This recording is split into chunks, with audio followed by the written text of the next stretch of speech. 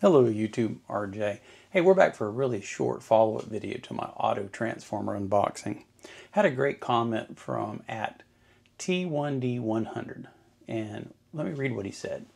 Not to be a bummer, but the Asian models from the typical online marketplace are known to have various issues. Improperly wired, fuse on the wrong leg, incorrect grounding, and etc undersized wires, overstated watts and amps, on and on. So I recommend that you research a particular model, the Asian mo models in general, and open inspect yours very carefully. It's a piece of safety equipment. It should not be dangerous itself. Hope you got a good one. Well, thank you for the input. Um, I took your advice. I've opened mine up, take a look and see if there was uh, anything. I did check the reviews before purchasing and I bought it on Amazon. I'll put a link in the video and, and in the reply I send back to you.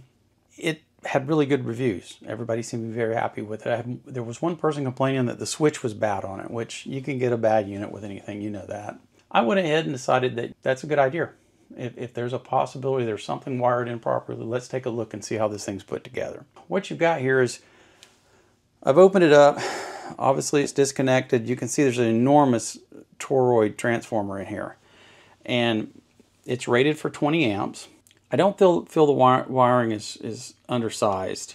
The UL plug coming in is the same gauge wire as running to everything else. So if the UL plug can handle uh, 20 amps, then this cabling can handle 20 amps. Looking at it, the build's not too bad. Solder joints maybe could be a little better, but they're using uh, unleaded solder, I'm sure, and we know that those don't make the prettiest solder joints. The small lead you see here is for the meter, so not, not a current carrying lead. That's one thing off the box that he was concerned about. What else was he concerned about? Well, he was concerned the fuse was hooked up incorrectly. Well, let's do this. He was concerned about the grounding. Let's take a look at the grounding. First thing I want to know is I'm going to have to put the fuse back in. You'll see why I had the fuse out in a minute. Okay, fuse back in. Make sure everything's hooked back up. Let's find out if the grounding lug on our plug makes it to the case. Yes, it does. So we're grounded to the case. That's good. We know that.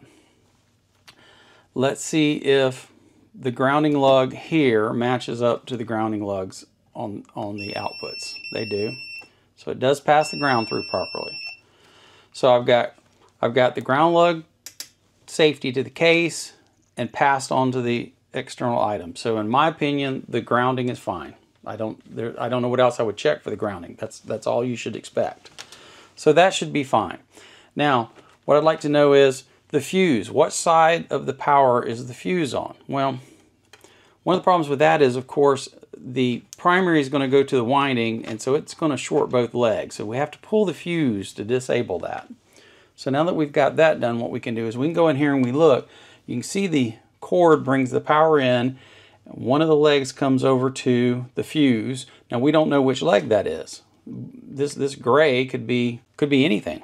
Let's just find out what we got. It makes it to that lug. Let's see if I can get over on this other lug. It doesn't make it to that lug, makes it to this lug. Now which lug is that of the plug? Is that the hot, which would be proper?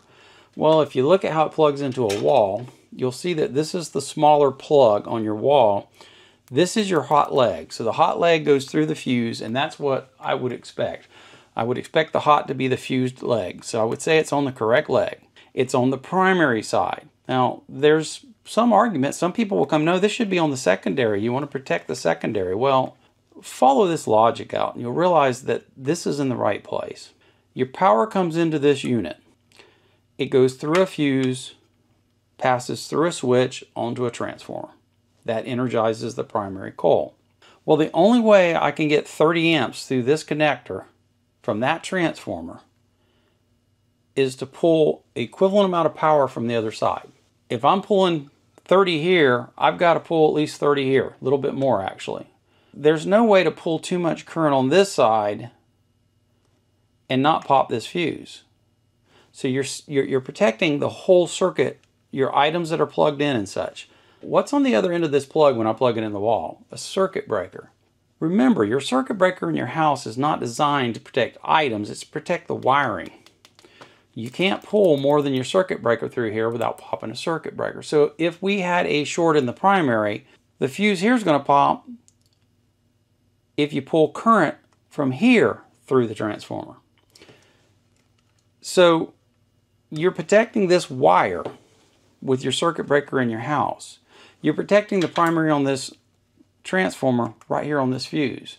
You're also protecting the secondary because if the secondary shorts, you're going to pull current and pop this fuse. Secondary can't get power unless it pulls it from the primary. If the primary is protected, the secondary is protected.